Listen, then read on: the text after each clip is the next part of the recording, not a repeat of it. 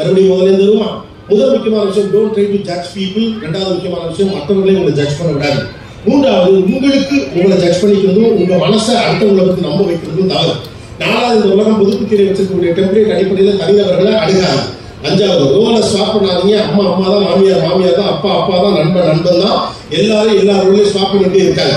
அடுத்த ஆறாவது விஷயம் வாழ்க்கை ரொம்ப சிம்பிளானதை நீங்களாகவே காம்ப்ளிகேட் பண்ணாது ஏதாவது நம்ம எல்லாருக்கும் தெரியும் நீங்களே நினைச்சிட்டு எல்லாருக்கும் நமக்கு தெரியாது. நம்ம வேலை நம்ம பார்ப்போம். அடுத்த வேலை அவன் பார்ப்பான் எட்டாம் மனிதர்களை சார்ந்திருக்கிற எந்த வகையில் கோழைத்தரமானது கிடையாது. மனிதர்கள் நமக்கு அவசியமானவர் அவர் வழியாக இருக்கும் மூளைக்கு மனசுக்கு சண்டை வரப்ப எப்படியாவது மனசு ஜெயிக்கணும் பார்த்துங்க. லாஜிக்கை விட இமோஷன் மேட்டர்ஸ் பத்தாவது முக்கியமான விஷயம் நல்லது சரி எது அப்படின்னு பிரச்சனை வரப்ப நல்லதின் பக்கம் நில்லுங்க சந்திரகாந்தன் ஜன்னலில் பேசட்டும் சரித்திர நாளில் சாதனை பேசட்டும் நன்றி. வணக்கம்.